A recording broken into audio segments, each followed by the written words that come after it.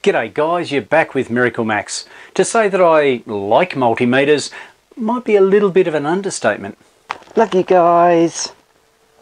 What? I can stop any time I like, honest. Here's just a few that I have in my collection.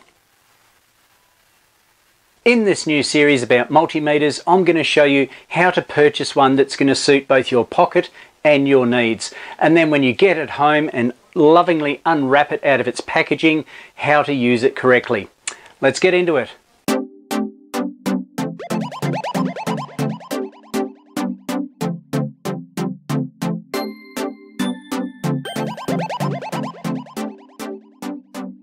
At this point, you're probably thinking to yourself, Self, what is a multimeter? And that's a fair question, and that's why I'm here. I can help you out.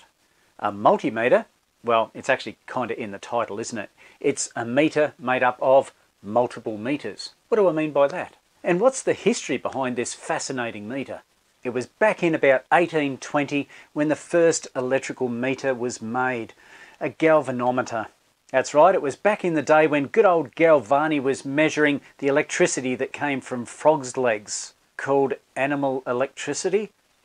Believe it or not, it's actually a thing. Hey, don't look it up now. Wait till the end of the video, then you can have a look, okay? So what is this galvanometer? The first moving needle electrical measurement device, I guess you could say, was a galvanometer. Interesting name.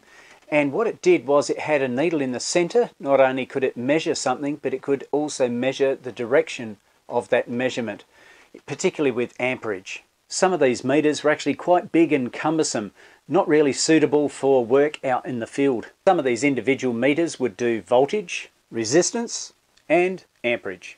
Then along came British post engineer Donald Macadie back in the eh, 1920s. He wasn't keen on carrying around all these separate meters. Can't understand why.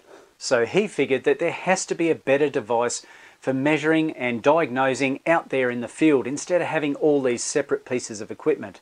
That's right, that's when he came up with the invention of the multimeter. Donald Macadie, you're a legend, mate. One of my personal heroes, and after all, why wouldn't you be? You invented the multimeter.